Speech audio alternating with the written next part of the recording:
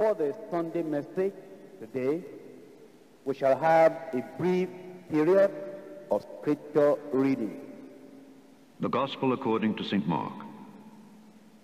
The Gospel according to St. Mark. Chapter 10. Chapter 10. And he arose from thence and cometh into the coasts of Judea by the farther side of Jordan, and the people resort unto him again. And as he was wont, he taught them again. And the Pharisees came to him and asked him, Is it lawful for a man to put away his wife? Tempting him. And he answered and said unto them, What did Moses command you? And they said, Moses suffered to write a bill of divorcement and to put her away. And Jesus answered and said unto them, For the hardness of your heart he wrote you this precept. But from the beginning of the creation God made them male and female. For this cause shall a man leave his father and mother and cleave to his wife, and they twain shall be one flesh. So then they are no more twain, but one flesh. What therefore God hath joined together, let not man put asunder. And in the house his disciples asked him again of the same matter. And he saith unto them, Whosoever shall put away his wife and marry another committeth adultery against her. And if a woman shall put away her husband and be married to another, she committeth adultery. And they brought young children to him that he should touch them. And his disciples rebuked those that brought them. But when Jesus saw it, he was much displeased, and said unto them, Suffer the little children to come unto me, and forbid them not. For of such is the kingdom of God. Verily I say unto you, whosoever shall not receive the kingdom of God as a little child, he shall not enter therein. And he took them up in his arms, put his hands upon them, and blessed them.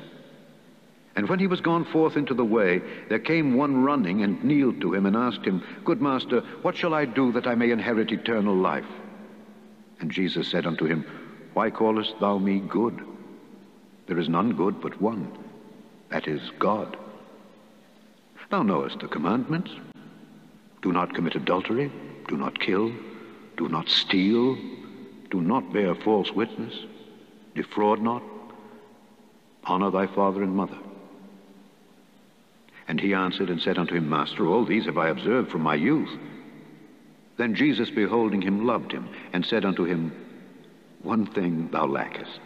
Go thy way, sell whatsoever thou hast, and give to the poor, and thou shalt have treasure in heaven. And come, take up the cross, and follow me. And he was sad at that saying, and went away grieved, for he had great possessions. And Jesus looked round about, and saith unto his disciples, How hardly shall they that have riches enter into the kingdom of God? And the disciples were astonished at his words. But Jesus answereth again, and saith unto them, Children, how hard is it for them that trust in riches to enter into the kingdom of God? It is easier for a camel to go through the eye of a needle than for a rich man to enter into the kingdom of God. And they were astonished out of measure, saying among themselves, Who then can be saved? And Jesus, looking upon them, saith, With men it is impossible, but not with God. For with God all things are possible. Then Peter began to say unto him, Lo, we have left all and have followed thee. And Jesus answered and said, Verily I say unto you, there is no man that hath left house, or brethren, or sisters, or father, or mother, or wife, or children, or lands, for my sake and the gospel's, but he shall receive an hundredfold now in this time houses, and brethren, and sisters, and mothers, and children, and lands, with persecutions, and in the world to come eternal life. But many that are first shall be last, and the last first. And they were in the way going up to Jerusalem, and Jesus went before them, and they were amazed. And as they followed, they were afraid. And he took again the twelve, and began to tell them what things should happen unto him, saying, Behold, we go up to Jerusalem, and the Son of Man shall be delivered unto the chief priests and unto the scribes, and they shall condemn him to death, and shall deliver him to the Gentiles. And they shall mock him, and shall scourge him, and shall spit upon him, and shall kill him. And the third day he shall rise again. And James and John, the sons of Zebedee, come unto him, saying, Master, we would that thou shouldest do for us whatsoever we shall desire. And he said unto them, What would ye that I should do for you? They said unto him, Grant unto us that we may sit one on thy right hand and the other on thy left hand in thy glory. But Jesus said unto them, Ye know not what ye ask. Can ye drink of the cup that I drink of, and be baptized with the baptism that I am baptized with? And they said unto him, We can. And Jesus said unto them, Ye shall indeed drink of the cup that I drink of, not be among you, but whosoever will be great among you shall be your minister, and whosoever of you will be the chiefest shall be servant of all. For even the Son of Man came not to be ministered unto, but to minister, and to give his life a ransom for many. And they came to Jericho. And as he went out of Jericho with his disciples and a great number of people, blind Bartimaeus, the son of Timaeus, sat by the highway side begging. And when he heard that it was Jesus of Nazareth, he began to cry out and say, Jesus, thou son of David, have mercy on me. And many charged him that he should hold his peace. But he cried the more a great deal, Thou son of David, have mercy on me. And Jesus stood still and commanded him to be called. And they called the blind man, saying unto him, be of good comfort, rise, he calleth thee. And he, casting away his garment, rose and came to Jesus. And Jesus answered and said unto him, What wilt thou that I should do unto thee? The blind man said unto him, Lord, that I might receive my sight. And Jesus said unto him, Go thy way, thy faith hath made thee whole. And immediately he received his sight and followed Jesus in the way. May God help us to be doers of the word. Amen.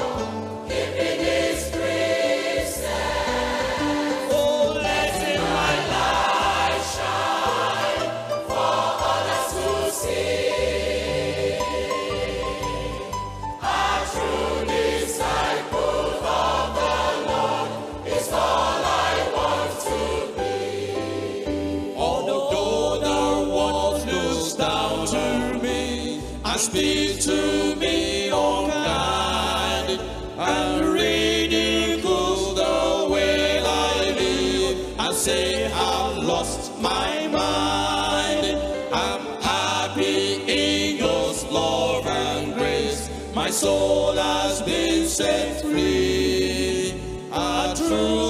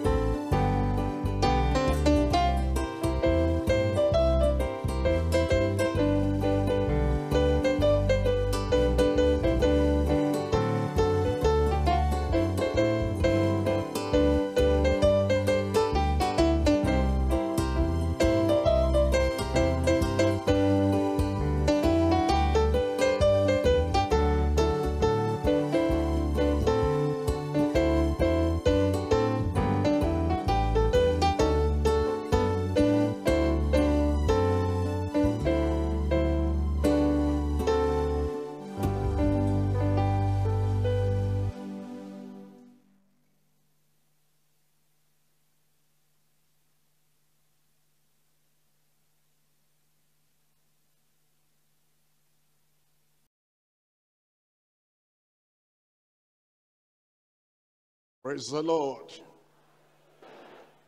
I can't hear your voice. Are you happy to be back? The Lord bless everyone in Jesus' name. I welcome everyone to our Bible study tonight. We're back to Gbagada, and it's a wonderful thing to be at the headquarters.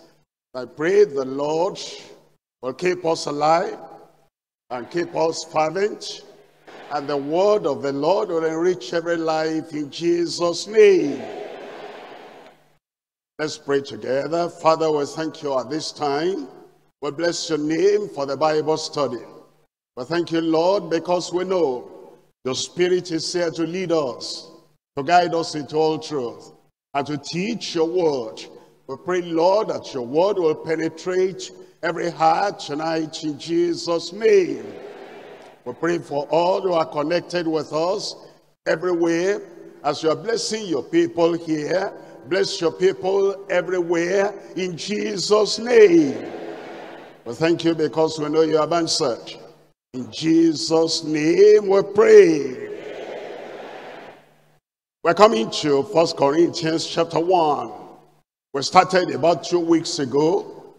And we've learned from chapter 1, verses 1 through to 25. Tonight we're starting with verse 26. Please open your Bible. First Corinthians chapter 1, reading from verse 26.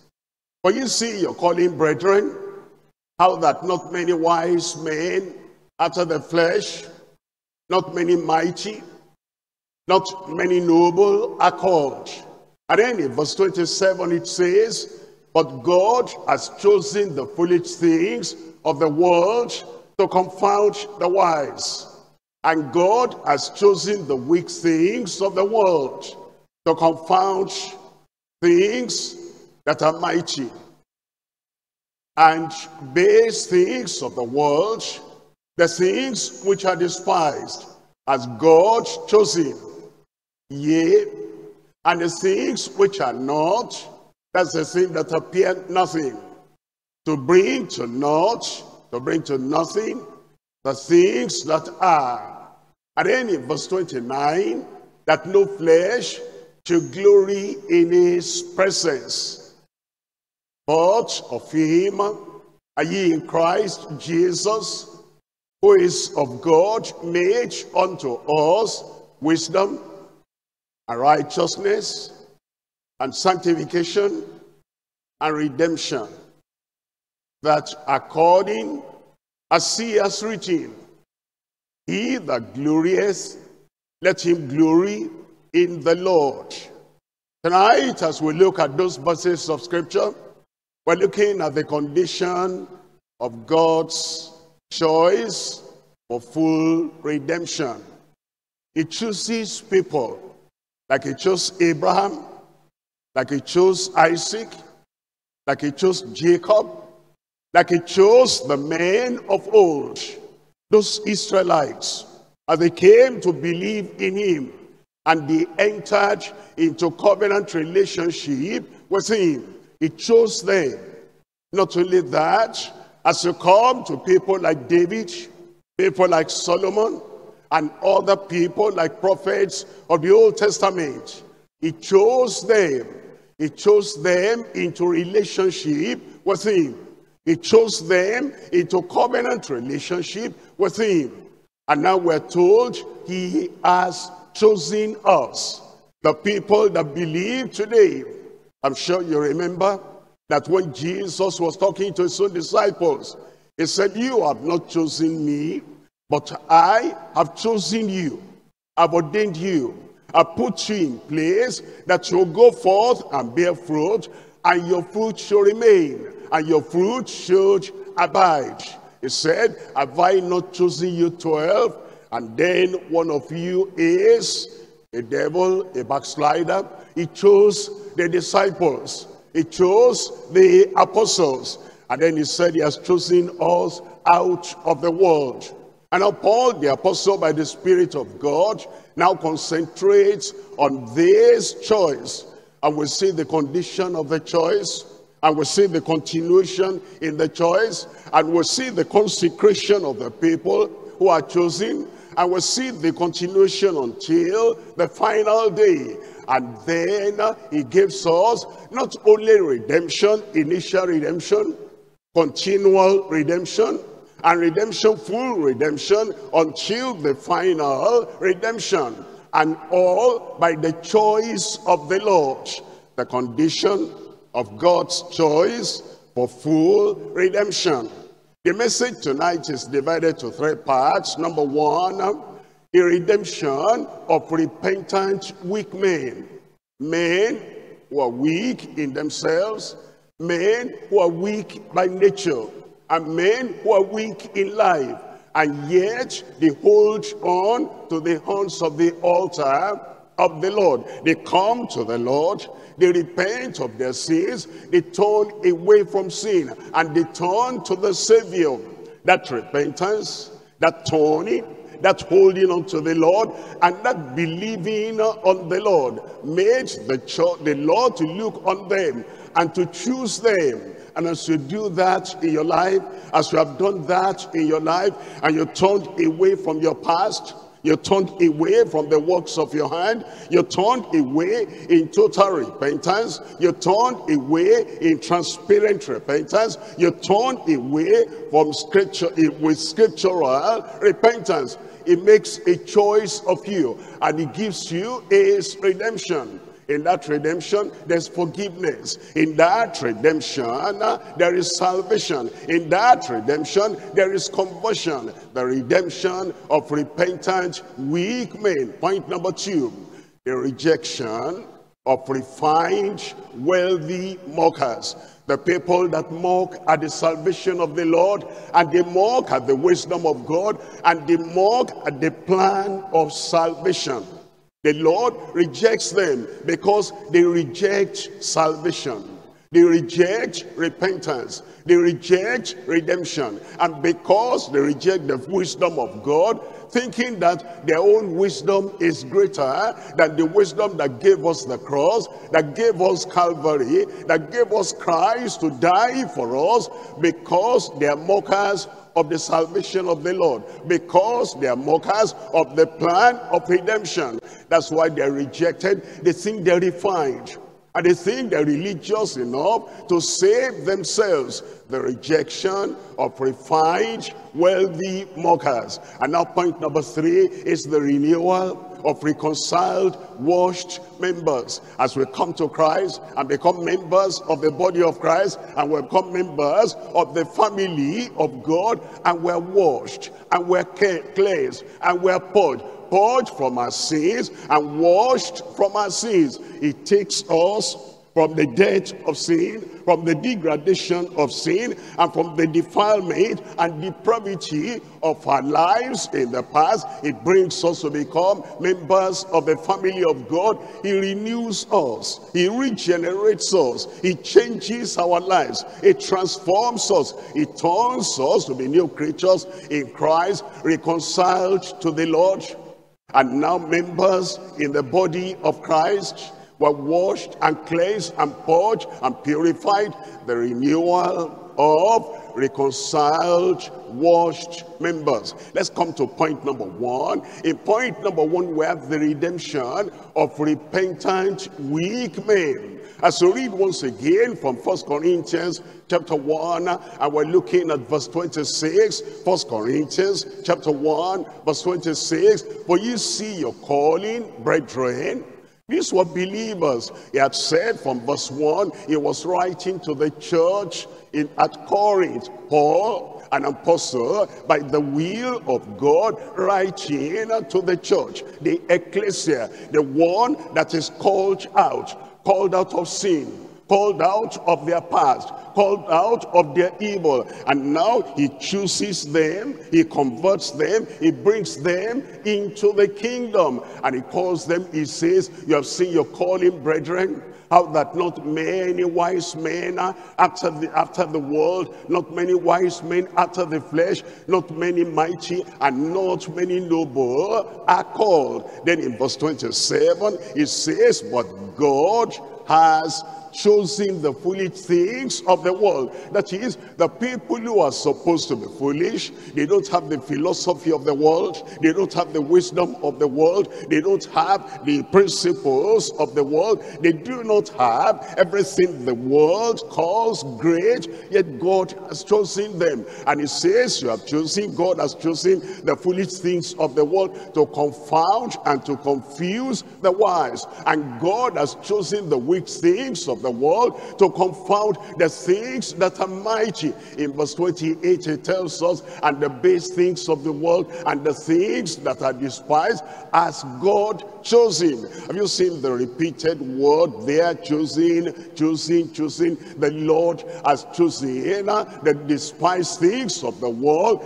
yea, the things which are not to bring to naught, to bring to nothing things that are. It brings to nothing the philosophy of the world. It brings to nothing the plan of the world. It brings to nothing all the ideologies of the world. It brings to nothing uh, all the religion of the world. It chooses the people who will go the direction of God and who will who will take the plan of God, the plan of redemption. As we think about the redemption of repentant weak men, there are three things we're looking at. Number one, the general call of all men in the world. He wants to choose everyone. He calls everyone. He doesn't want anyone to be lost. He doesn't want anyone to perish. That's why we're told the general call of all men in the world. Look at John chapter 3 verse 16. It tells us in John chapter 3 verse 16. It says, For God so loved the world, the entire world, all the world, all the people in the world without exception. For God so loved the world that he gave his only begotten son, that whosoever believeth in him should not perish but have everlasting life.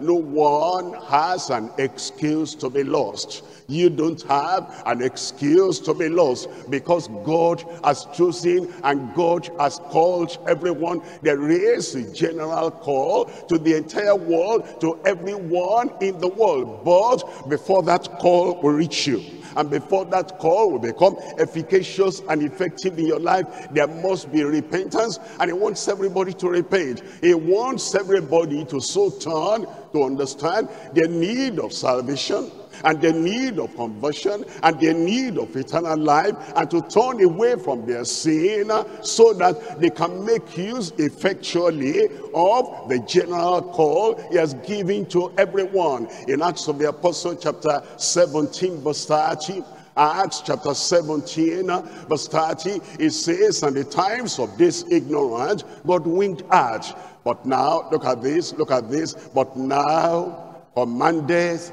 all men everywhere to repent. If he doesn't want them saved, how will he command everyone everywhere to repent. If he knows he only wants to choose the people that he had uh, predestined and had chosen beforehand, how will he tell everybody to repent? But now he's telling us there is a general call and God now will overlook the past and he calls all men everywhere to repent. He tells us in verse 31, the reason is calling every man and the reason is calling everyone and he saying we should repent because he has appointed a day in the which he will judge the world in righteousness by that man whom he has ordained, whereof he has given assurance unto all men in that he raised him from the dead. And he did that for everyone. He raised Christ Jesus from the dead to provide salvation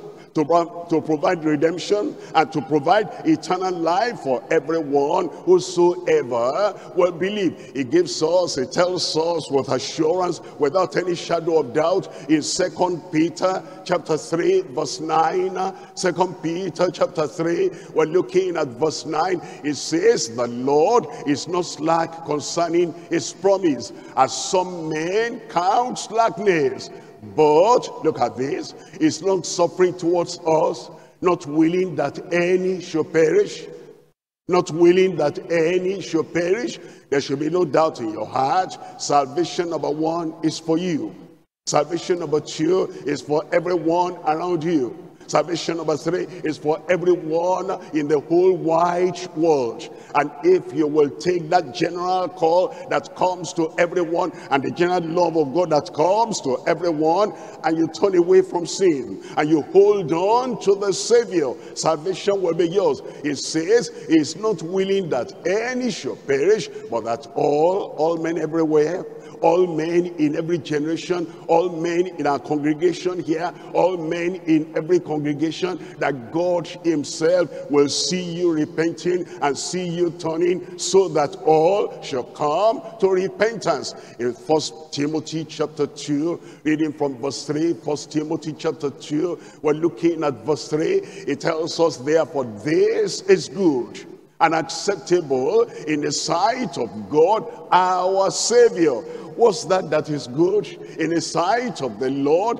our God, our Savior, our Redeemer? Look at verse 4. Who will have in your Bible there how many people?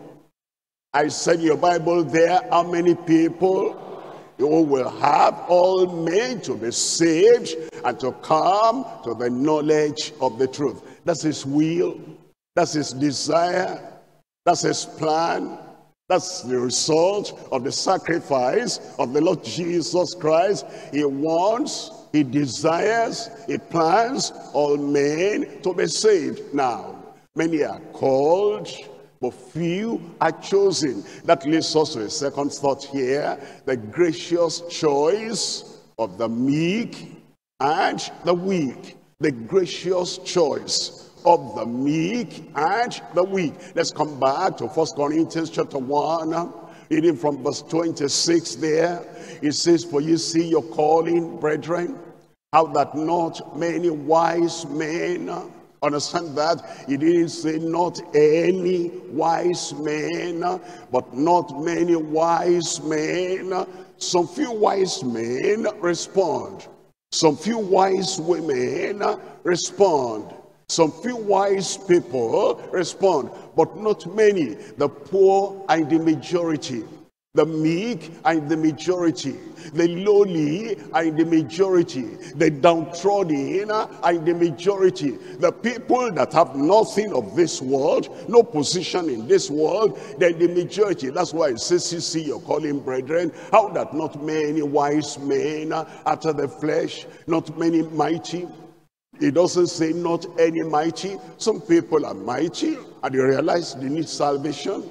And some people are great in the world and they realize they need salvation. They come and the Lord doesn't despise them, doesn't push them away because they are mighty or because they are noble or because they are wise, but not many. Eh, not many are yielding to the gospel. It says not many mighty and not many noble are called. It says in verse 27, it says, but God has chosen the foolish things of the world to confound the wise the foolish things of the world, the people that do not have the wisdom of the world, they are in the majority of those who have responded and therefore they are choosing. And then he says God has chosen the weak things of the world, those who feel they're strong and those who feel they're mighty. Many of them are not coming, but the majority of the people that come and they're choosing and the weak things of the world to confound the things that are mighty. And then in verse 28 it tells us,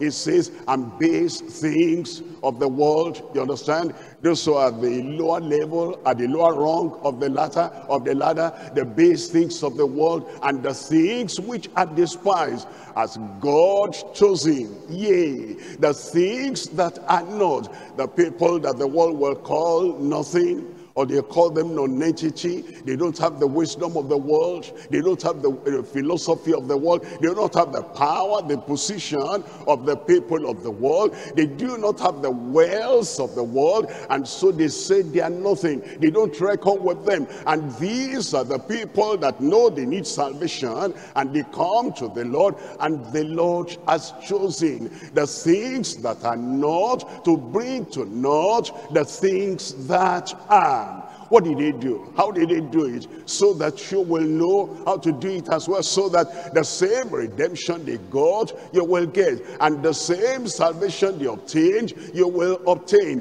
It tells us in Romans chapter 10 verse 9. Romans chapter 10 verse 9.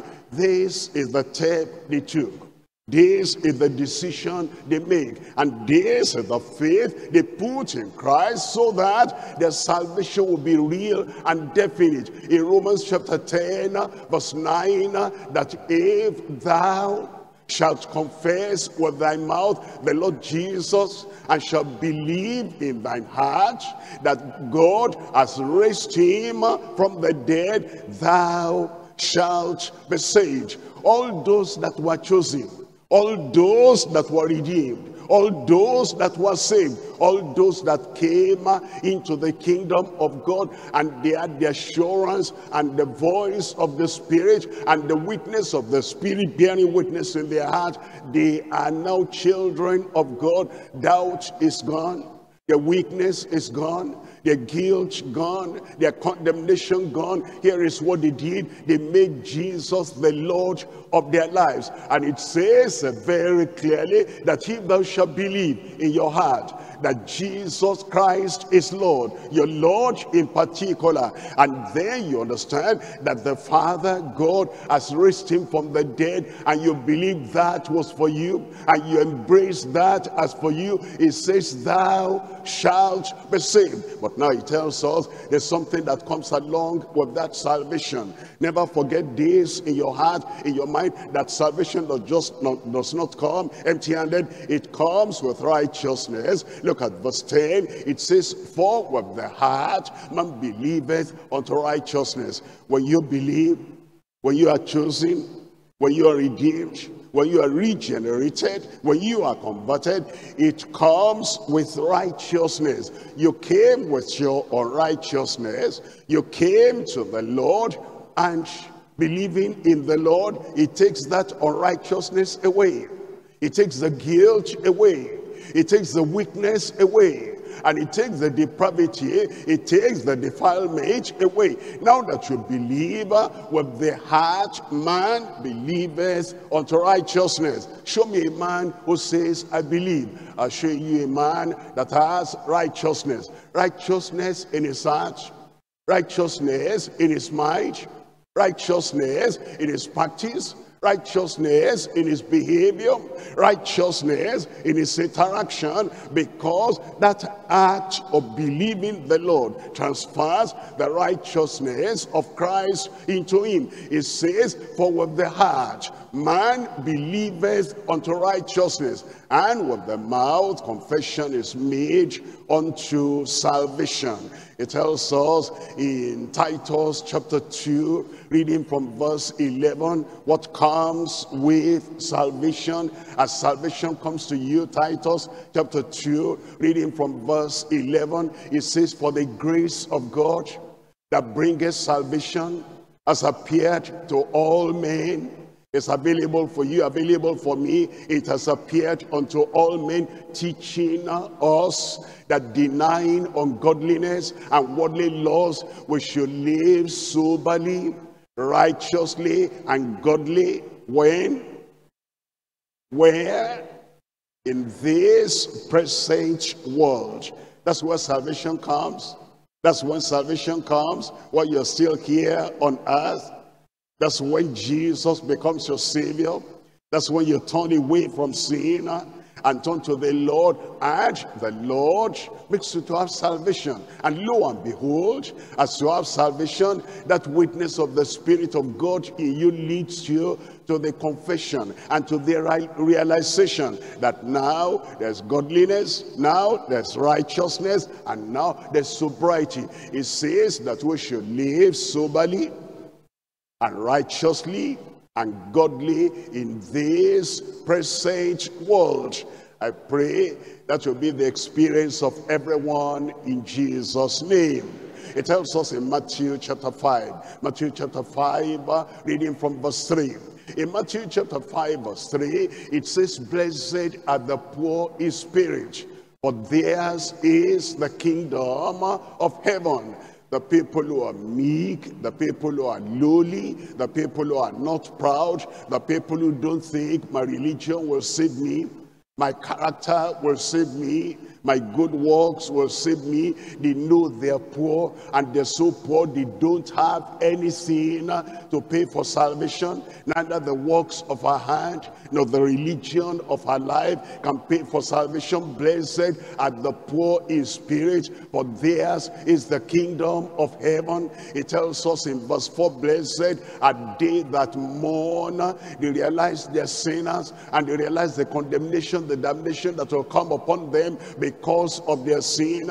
They realize the pain, the pangs, and the punishment that will come upon them because of their sin. Because of that they mourn. Because of that they cry. Because of that they are sorrowful. And then when they look around at who can save them, there's no man on earth, whether from their own tribe or from the world around them, that can save them. There's only one name that is given among men whereby we can be saved and it is the name of Jesus and then they realize that if they're going to have that savior as theirs they must turn away from sin they mourn for their sins. Blessed are they that mourn for they shall be comforted. And then in verse 5 it tells us there blessed are the meek for they shall inherit the earth. When Christ comes to reign upon the earth and he comes with his own saints to reign upon the earth they'll be with him. And he says blessed are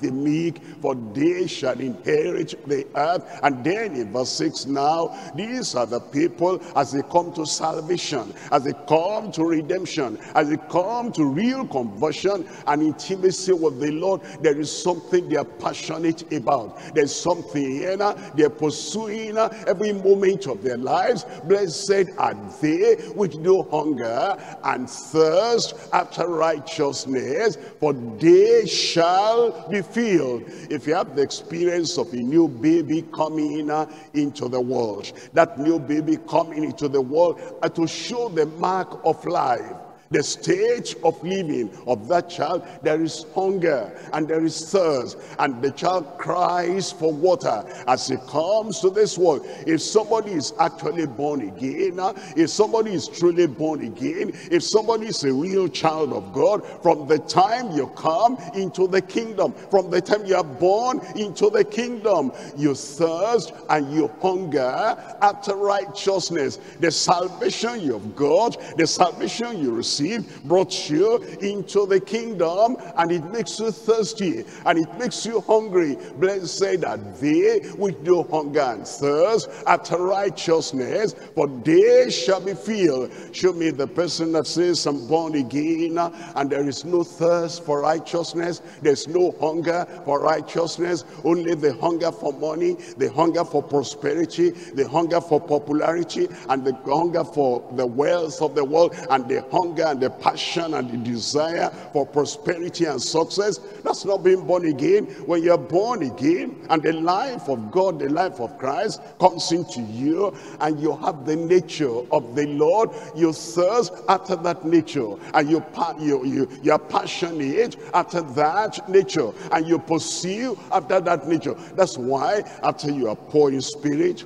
and then you are meek in spirit and then you mourn because of your past sins and you come to the Lord now. He says blessed are they which do thirst and hunger after righteousness for they shall be filled. I pray that evidence of salvation that evidence of conversion the thirst and the hunger will be in every one of our lives in Jesus name.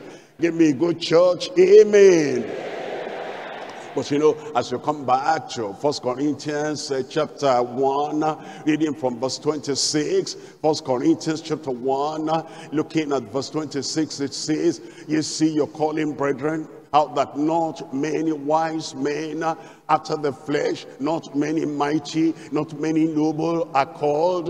It tells us something here.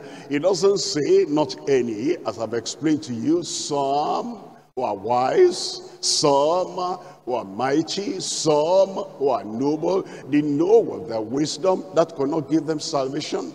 They know with their might that will not give them salvation. They know with their nobility that will not give them salvation. Because of that, they see that all the works of their hand all the wealth they have, all the wisdom they have, all their position in the world, all the contacts they have in the world couldn't save them and yet they know the importance of salvation. They know the importance of getting to heaven after they die because they see the poor people die, rich people die. They see that weak people die and strong people die and they see that the nobles die as well as the ignoble because they know end is coming coming one day, they come to the real wisdom of God. And the real wisdom of God makes them to have a glorious conversion. I come to number three there now. Glorious conversion of some mighty and wise. Some who are mighty and wise, yet they are wise enough to know that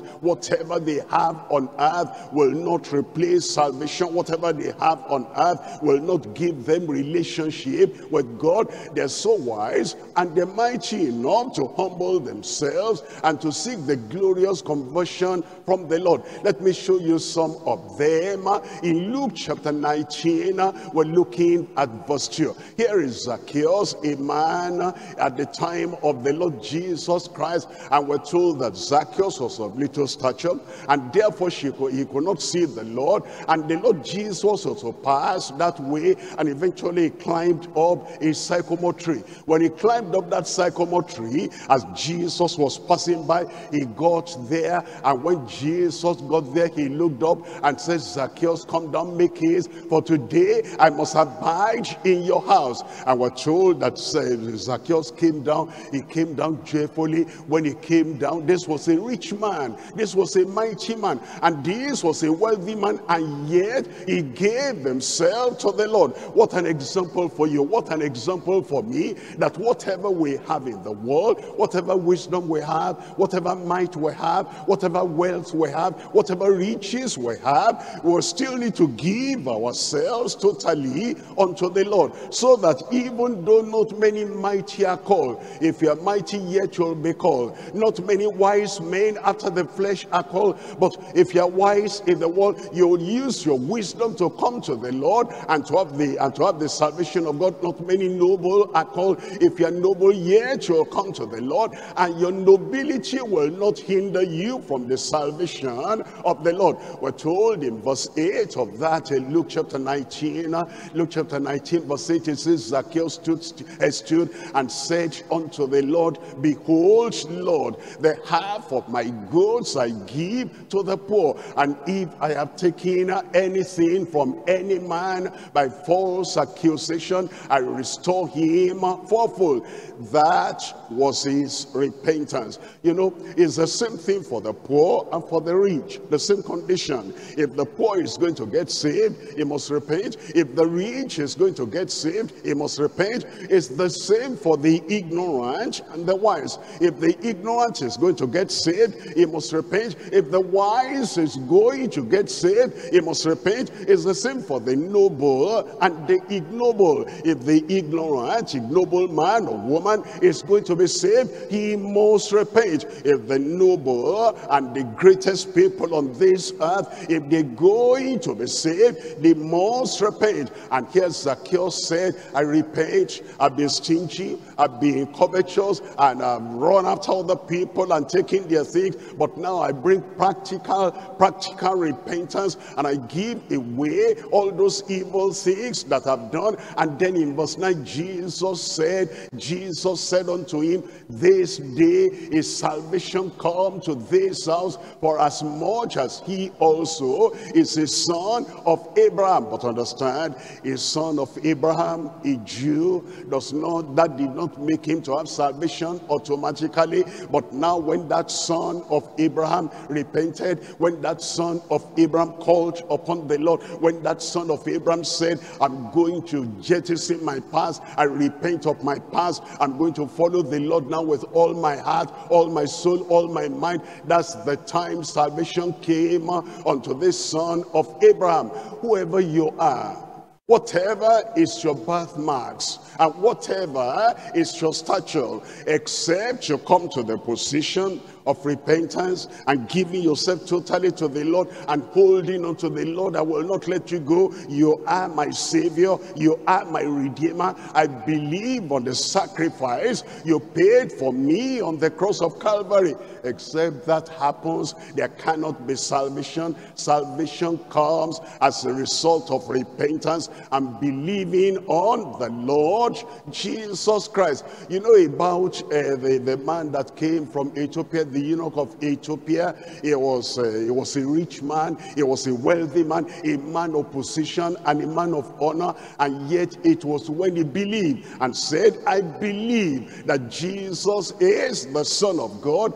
That's when salvation came. That's when redemption came. And the same thing today, you are a political office holder and you are a great man in the world. This is the only way salvation can come. God cannot lower the standard and say, yes, because you are rich, because you have position, I'm not going, I'm going to overlook Calvary. I'm going to overlook the sacrifice of Christ so you can be saved in a special way. Nobody gets saved in any special way. It is the same way Jesus Christ, the Son of God, who, who surrendered everything and sacrificed everything. That's how we get saved. And then Jesus said in verse 10, he said, for the Son of Man is come to seek and to save that which was lost. Zacchaeus was lost, and all those wise people, mighty people, and the, the wealthy people, all of them, they are lost, and it is only Jesus Christ that brings salvation. And as we believe today, salvation is yours in Jesus' name. I said salvation is yours in Jesus' name. And we thank God that it's not only the people who are rich in the marketplace, the people who are wealthy in the marketplace, the people who have the things of the world in the marketplace, even the religious people. In Acts of the Apostles chapter 6, reading from verse 7, Acts of the Apostles chapter 6, I'm looking at verse 7, it says, and the word of the Lord increased. It's not talking about the preaching of the Bible here now. It's talking about the word of God received here, received there, received there, and the word of the Lord increased, the word of salvation penetrating every heart, the word of salvation coming to everyone, and that word of the Lord increased. And then he said, the number of disciples became multiplied in Jerusalem greatly. Look at this now, and a great company of the priests were obedient to the faith. A great company of the priests were obedient to the faith. These were people, although they were, they, were people of position and people of power and people of authority in their assemblies, in their congregations, and in their and in their synagogues, yet they believed when they saw that Jesus Christ is a Savior and that there's no other name whereby we can be saved except the name of Jesus. The word of God got into them as the word of God is going to get to you. It will penetrate your heart. It will penetrate your soul. And the same experience that other people have had, although not many mighty and not many wise and not many noble, the same experience they have heard when the word of God penetrates into you, you will have that same experience in Jesus' name. Salvation for everyone.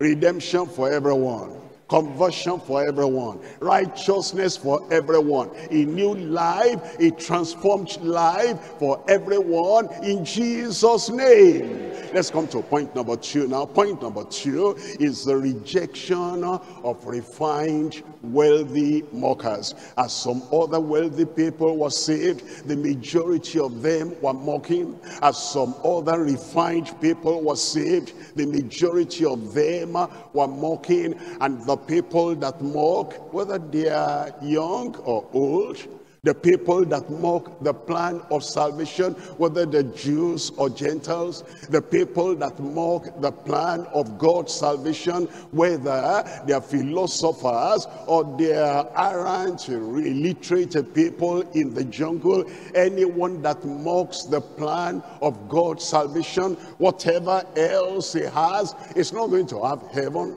It's not going to have redemption. It's not going to have the power of God and the witness of the Holy Spirit that tells us that this is the way of salvation. Let's look at three things. Number one, the passionate preaching of willing ministers. The passionate preaching of willing ministers. And of course, you know, Paul the Apostle is one of those willing ministers, passionate in preaching and powerful in preaching, penetrating in preaching, persuasive in preaching. And if you're going to be a minister that will bring souls into the kingdom, your heart must be there.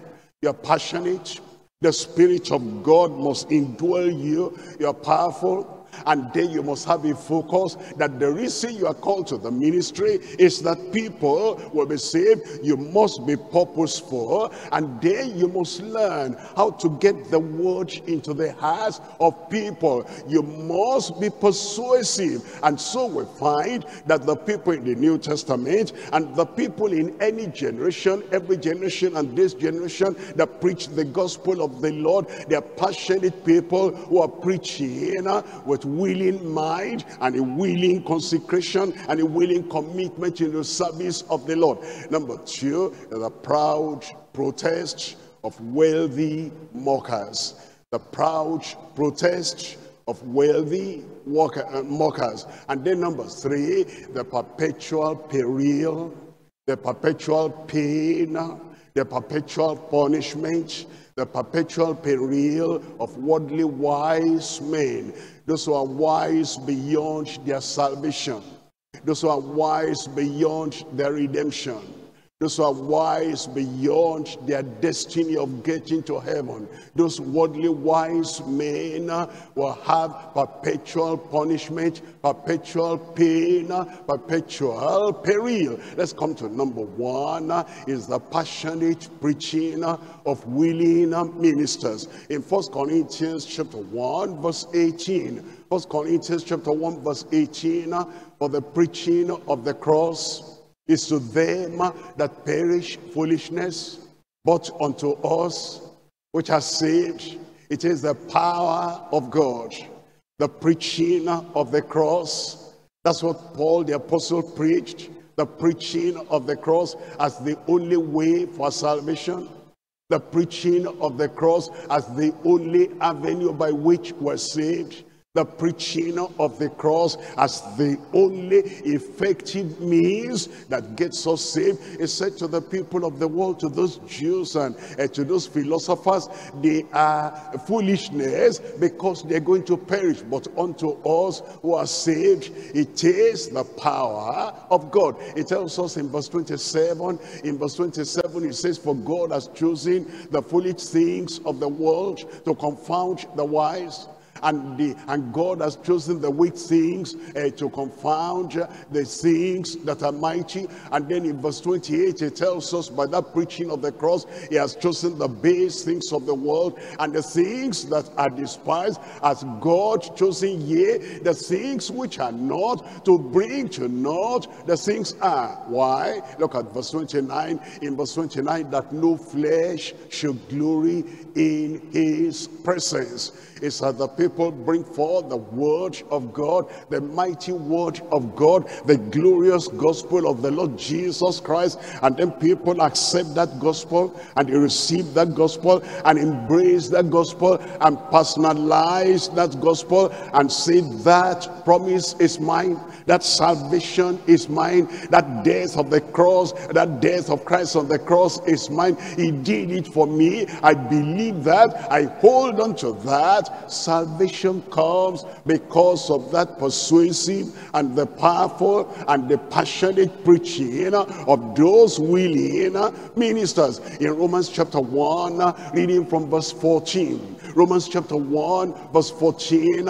Here is Paul the apostle saying, I am debtor both to the Greeks and to the barbarians but to the wise and to the unwise. You see, it's not saying that no wise man can be saved. He says it's debtor to them.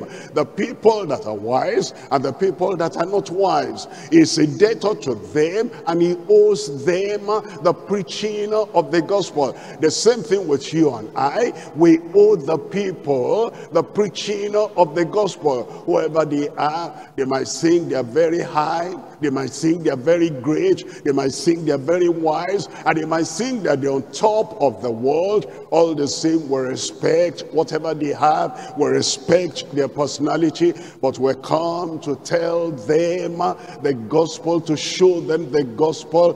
The gospel of the Lord Jesus Christ that can give unto them what their wealth cannot give them. What their wisdom cannot give them. It says, I am debtor to the Greeks. I'm debtor Oh, to the barbarians. It says both to the wise and to the unwise. It says in verse 15, uh, it says in that verse 15, it says, so as much as in me is, their wealth will not intimidate me as, as, uh, as much as in me is. Their nobility will not intimidate me and their might will not intimidate me. The very fact that they are philosophers and the very fact they are highly placed in whatever field they are, all that will not intimidate him, Paul the apostle, and all that will not intimidate you. Whatever achievement other people have got, you know that without salvation, salvation, they cannot be saved. Therefore, Paul the apostle said,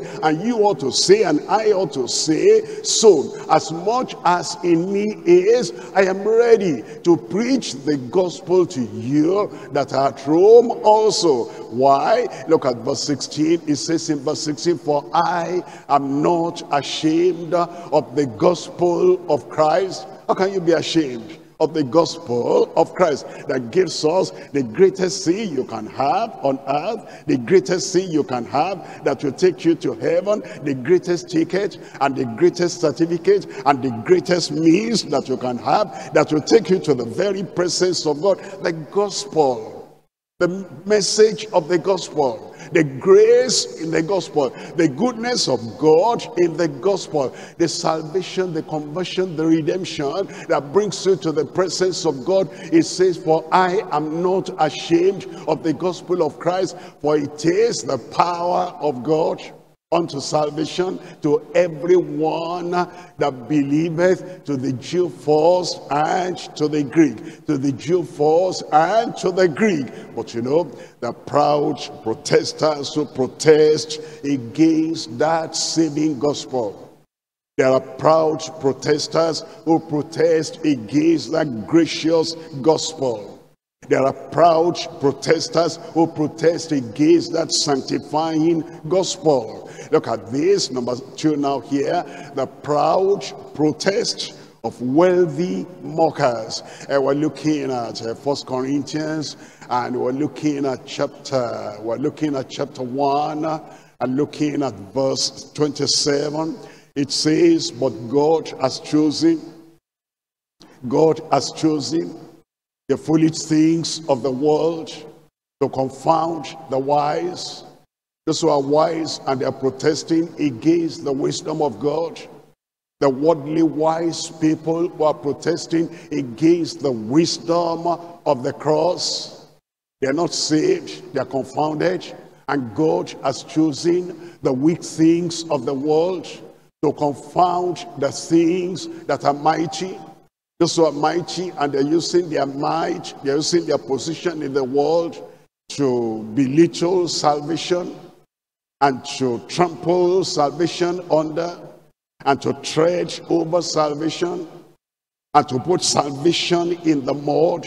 To them, there are other things that are more important than salvation. They look at you and they laugh. They say, I have money. How much do you have? I have certificate. How much do you have? I have the wealth of this world. How much of that do you have? And because of that, a protest against the salvation of God and the wisdom of God that grants us that salvation. In verse 29, uh, it says in verse 29 uh, that no flesh should glory in his presence. Those who are protesting against the plan of God, they're glorying in the presence of God, but God will not allow anyone to glory in his presence. And look at Revelation chapter 3. We're looking at verse 17. This is how why some people protest. This is why some people mock. This is why they say, I have this, I have that. I don't need any other thing because thou sayest, Revelation chapter 3, verse 17, because thou sayest, I am rich. That's all they have. And increase with goods. That's all they have. And have need of nothing. They have all the things on earth. They don't have need of anything coming from heaven. Salvation is from heaven. Redemption is from heaven. The witness of the Spirit is from heaven. The title deed of the mansions on high, that's from heaven. They have all these things on earth. And because of all the things they have amassed on earth, they say, I have need of nothing coming from heaven. And knowest not that thou art wretched and miserable and poor and blind and naked. That's why those mockers mourn. And look at what the Lord is telling them now in verse 19. In verse 19, uh, it says, As many as I love, I rebuke and chasten. Those mighty people, God says, I love you, and therefore I rebuke you because you are trusting in your might, and you're not trusting uh, in the salvation of the Lord. Those wise people, worldly wise, I rebuke you because you are trusting in your wisdom. You are not trusting in the wisdom of the plan of redemption. Those who are noble, I rebuke you because you are trusting in your nobility and you are not trusting in, uh, in the renewal, the regeneration that Christ gives us to come into the kingdom. I rebuke you and therefore I want you to turn and repent. As many as I love, I rebuke and chasten. Be zealous therefore. Be zealous therefore. What's that saying? Uh, as you have been zealous for might, Turn out, be zealous for repentance and salvation. As you have been zealous to become an office holder in that place, be as zealous now in seeking after the salvation of the Lord so you can be saved. As you have been zealous after having certificate, you have been zealous after building houses, you have been zealous after amassing health, you have been zealous after all these things that will not take you to heaven. Now turn around and be zealous for the salvation of the Lord. It says, as many as I love, I rebuke and chasten. Be zealous therefore and repent. And I pray that the salvation of the Lord will be yours, will be ours all together in Jesus' name. Let me have a good, good amen. If those who are supposed to be saved and the promise comes to them and the privilege comes to them and they don't take hold of that privilege. What happens to them? Number three is the perpetual peril the perpetual pain the perpetual punishment of worldly wise men. They're wise after the things of the world. They're not wise after the things of heaven. We're looking at First Corinthians chapter 1 and we're reading from verse 19. First Corinthians chapter 1, reading from verse 19. For it is written, I will destroy the wisdom of the wise, the worldly wise, and I will bring to nothing the understanding of the prudent. That is, those who say they are so wise beyond Bible, beyond Calvary, beyond Christ, beyond repentance. They cannot lower themselves, humble themselves to the doors and receive the salvation of the Lord. They're wiser than the wisdom of God. The Lord says, I will destroy the wisdom of the worldly wise and I will bring to nothing the understanding of the prudent. And then in verse 20, it tells us, verse 20, where is the wise? Are they in heaven? No, not if they reject Christ. And where is the scribe? Are they with God in heaven? No, not when they reject Christ. Where is the disputer of this world? The one who is always wanting to have a debate. They say, you talk about Christ, let me present another one to you. Let's come to a debate. Where is the debater and where is the disputer of this world? You talk about salvation by grace. They say, let me talk to you about salvation by the work of my hand. They want to debate. They don't want to take the goodness of God. They don't want to take all that Christ has provided. All they're looking for is, well, we'll debate it. And they use their brain to lose their heart. That's why it says, where is the disputer of this world? Has not God made foolish the wisdom of this world? It tells us in verse 21, it says, for after, the, uh, after that in the wisdom of God, the world by wisdom knew him not. The world by their education knew him not.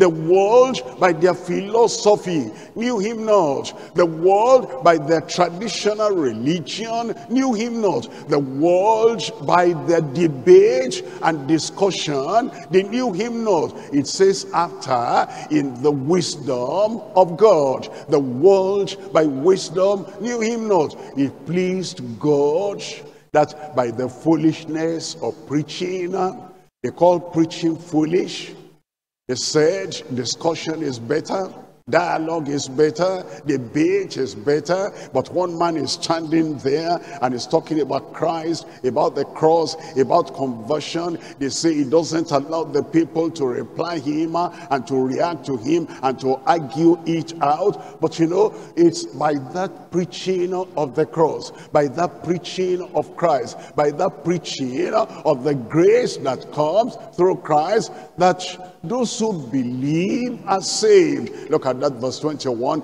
It pleased God by the foolishness of preaching to save them that believe. To save them that believe. I pray you'll be a believer. I said, I pray you'll be a believer and the gospel of the Lord will work for you in Jesus' name. Look at First Corinthians chapter 2. I'm reading there from verse 7. First Corinthians chapter 2, we're looking at verse 7. It says, But we speak wisdom, the wisdom of God in a mystery, even the hidden wisdom which God ordained before the world, before the world unto our glory. It says the people cannot recognize that, but this is wisdom. Whatever gets us saved in the plan of God, in the redemptive purpose of God. That is wisdom. Whatever prepares us for heaven here from earth, that is wisdom. Whatever opens the windows of heaven that we can look up by faith and see that there is heaven and this is the ladder and this is the only way to get there. That is wisdom and that is the wisdom, the wisdom of the gospel and the wisdom of Calvary and the wisdom of the cross that God has ordained for us that we we get to heaven by the wisdom that God ordained before the world for our glory. Look at verse 8. It says in verse 8, which none of the princes of this world, which none of the mighty in this world, which none of the noble in this world, which none of the wise people of this world knew not, they did not know. It says, uh, for at they known age, they would not have crucified the Lord of glory. But thank God, what they have rejected, you have received. What they have rejected, I have received. And what they lack, we have. They don't have salvation, we have salvation. I said we have salvation, we have redemption, and we have the grace of God, and we have the witness of the Spirit in our heart. We're going to heaven. Anybody going to heaven there? I said, anybody on your way to heaven there, the Lord confirm each in Jesus' name. Let's come to point number three now. In point number three, this is the renewal of reconciled, washed members. The renewal, the regeneration, the righteousness, the redemption of those who are reconciled to God and those who are washed in the blood of the Lamb and those who are integrated into the body of Christ. They are now members of Christ. The renewal of reconciled, washed members. In verse 30 of 1 Corinthians chapter 1, 1 Corinthians chapter 1 verse 30, but of him are ye in Christ Jesus, you are in Christ Jesus. You are not outside.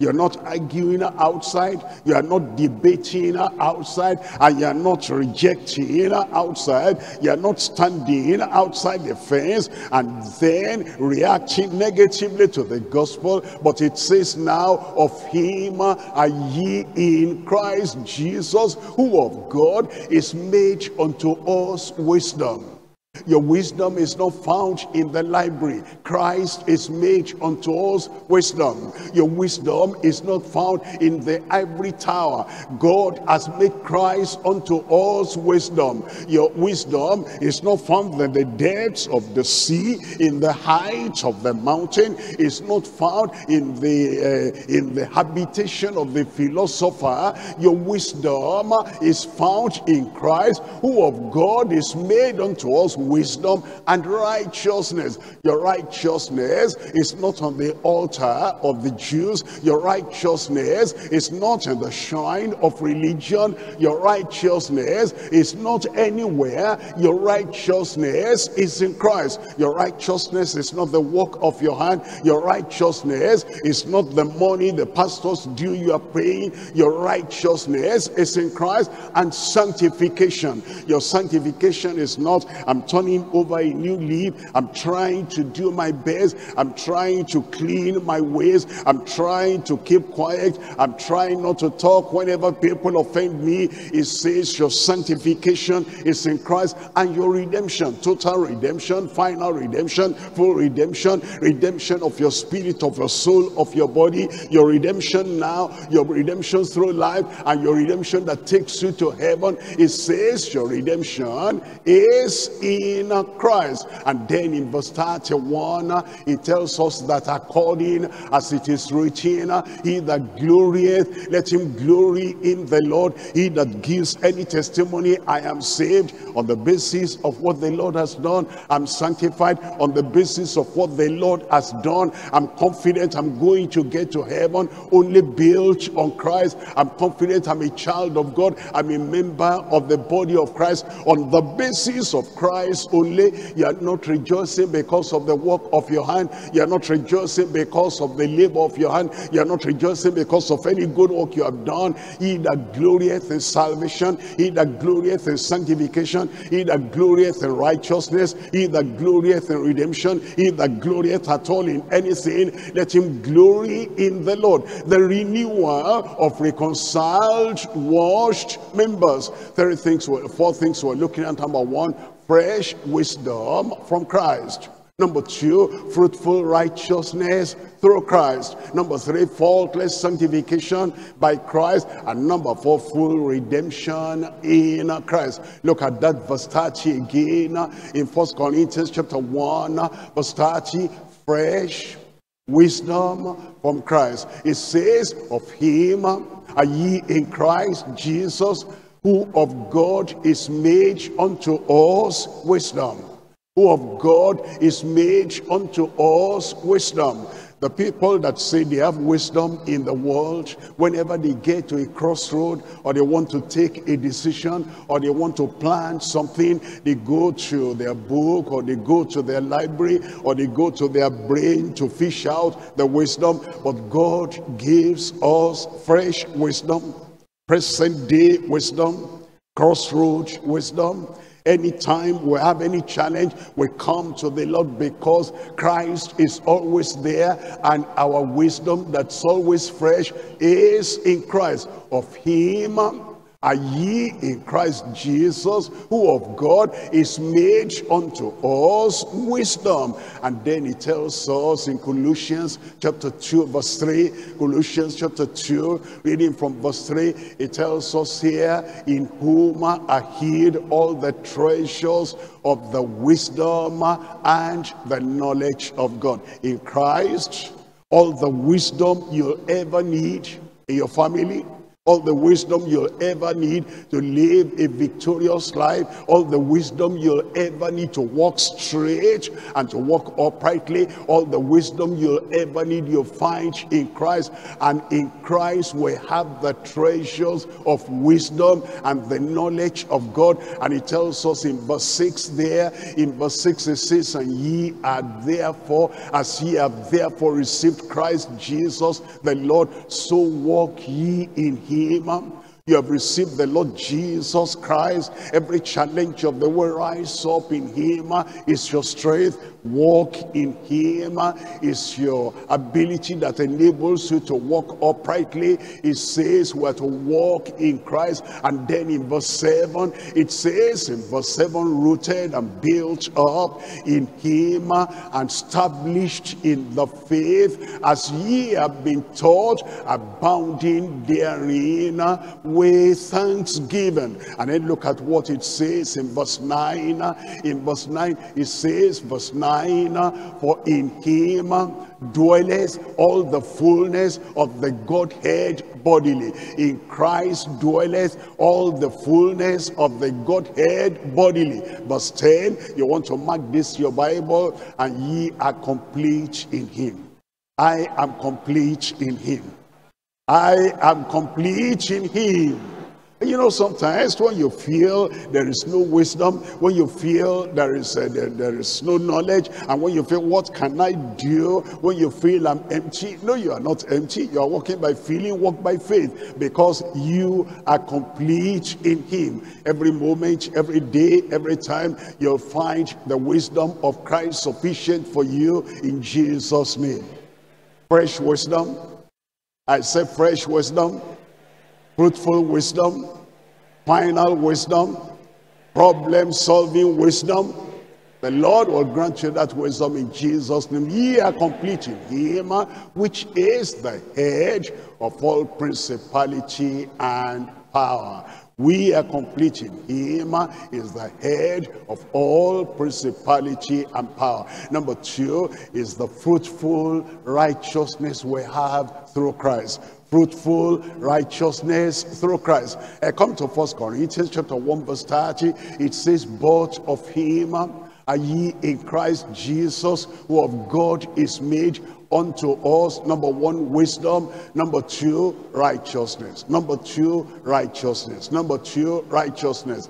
When Christ lives in you, the righteousness of Christ, of God, lives in you. There's no temptation coming from outside. There's no trial coming from outside. There's no enticement coming from outside. There's no degradation coming from outside. There's no defilement coming from outside that can erase and wash off and destroy and overcome Christ the righteousness of God in you. Just understand and have faith and believe the righteousness in you is greater, is stronger than all the temptation coming from outside and you will overcome in Jesus' name. I will overcome in Jesus' name. Look at Second Corinthians, Second Corinthians chapter 5, verse 21. Second Corinthians chapter 5, verse 21. For he has made him to be the sin offering to be sin for us, who knew no sin, that we might be in him, that we might be made the righteousness of God in him. He makes you righteous. You remain righteous in Jesus' name. The blood cleanses you, the blood washes you, the blood purifies you, and the effect of the blood, of the blood of Jesus, you carry everywhere in Jesus' name. Sin will not rule over you. Defilement will not rule over you. The world will not rule over you. Righteousness will reign in your life in Jesus' name. Look at Romans chapter 5, Romans chapter 5, uh, and I'm reading from verse 21. Romans chapter 5, uh, we're looking at verse 21. It tells us, a sin that has sin uh, hath reigned in the past unto death, even now, even so might grace reign, even so might grace reign through righteousness unto eternal life by Jesus Christ our Lord. Christ will reign in your heart. Reign, Master Jesus. Reign, Master Jesus, in my heart, in my soul, in my spirit, in my life, in my family. Let the righteousness of Christ reign, and that righteousness will reign in Jesus' name fruitful righteousness. Your life will be fruitful and will bear the fruit of righteousness in Jesus' name.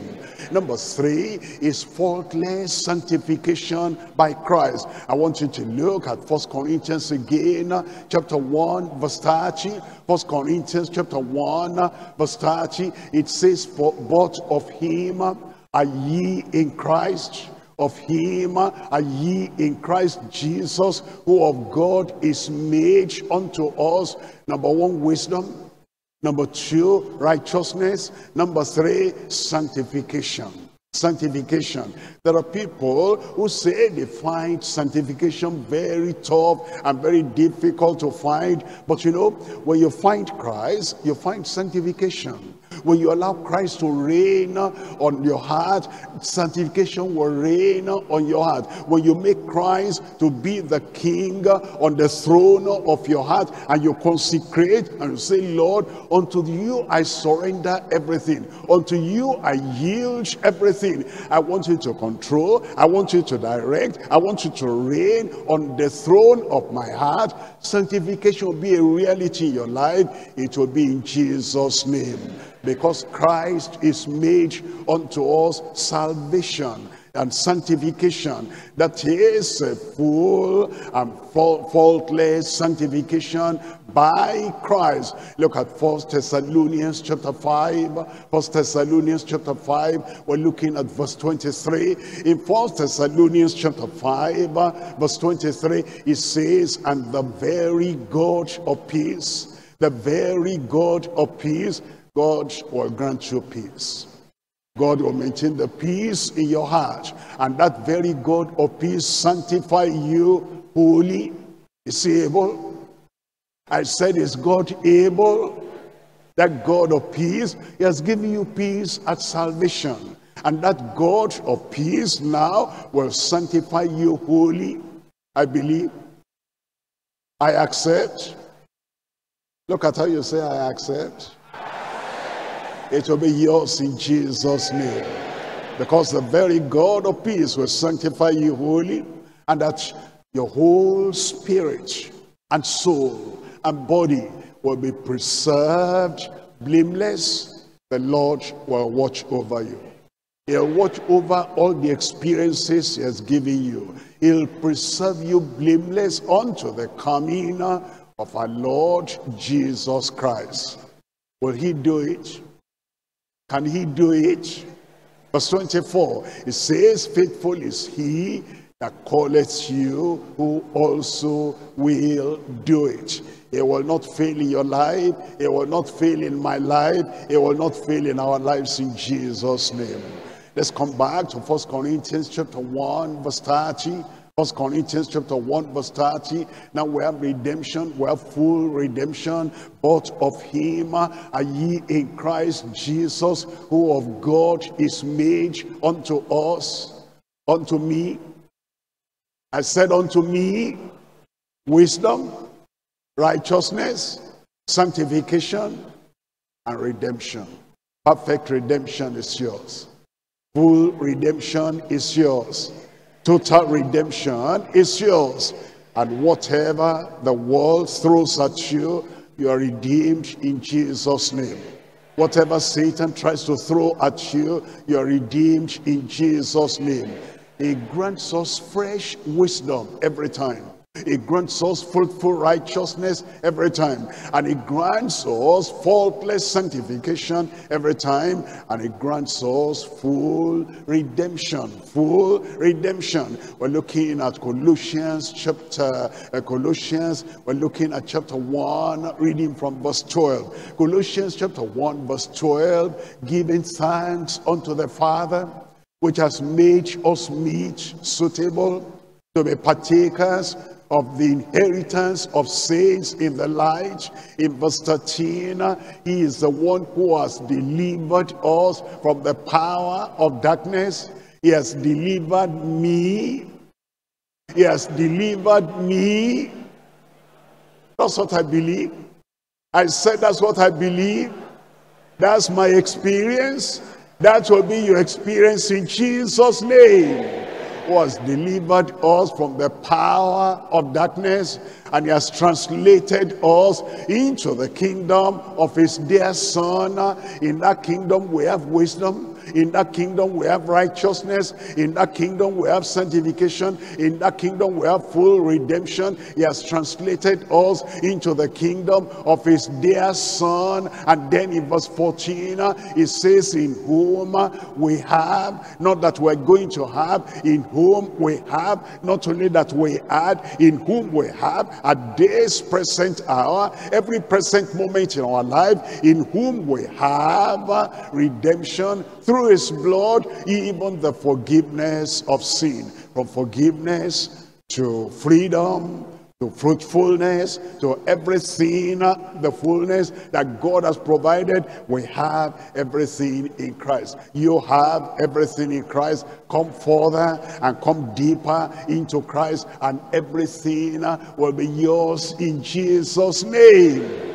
Now we have wisdom. How many people have wisdom here? Present wisdom the Lord will give you every time at every crossroad in Jesus name. Now we have righteousness. Anybody having righteousness there? Righteousness in Christ. The Lord confirmed that in Jesus name. Sanctification. Somebody help me shout the word sanctification. Anybody having sanctification there? God bless you. Sanctification in Christ and then full redemption. Everything is yours. And as we pray now, all this that God has revealed to us, you think you're foolish. Everything that God has provided at Calvary, he gives to the foolish. He gives to the people that feel they're nothing. He gives to the people that don't have any wealth, any might, anything over here. And even the people that have might or wealth or wisdom, whatever, if you come to the Lord with humbleness of heart and with poverty of heart and poverty of speech and say, Lord, I depend not only on what I have, I depend not, not on what I have, I depend upon you alone. Salvation is yours. Redemption is yours. Sanctification is yours. Holiness is yours. Purity is yours. Power is yours. And everything God provided at Calvary, everything is yours. And you are complete in him in Jesus' name. Every incompleteness the Lord will supply and you'll be complete even before you go tonight in Jesus name. Let's rise up now and talk to the Lord in prayer and say Lord we thank you for what you have revealed and we thank you for what Christ did for me for me for me on the cross of Calvary. Tell the Lord the Lord will answer your prayer. He loves you and he wants the fullness of Calvary to be yours even tonight